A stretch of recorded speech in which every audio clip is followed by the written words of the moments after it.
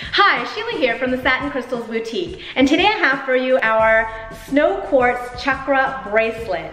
So this is a translucent milky white quartz which has been polished into smooth round beads and is strung with seven major chakra beads. So the first one is a translucent purple fluorite for the crown chakra, a dark blue sodalite for the third eye chakra, a light blue angelite for the throat, a translucent green fluorite for the heart chakra, a yellow calcite for the solar plexus, an orange aventurine for the sacral chakra, and a red carnelian for the root chakra.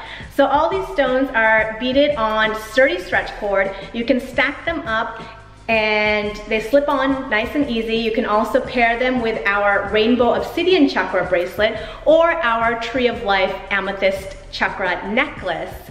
They come in a gift box, they're ready to gift.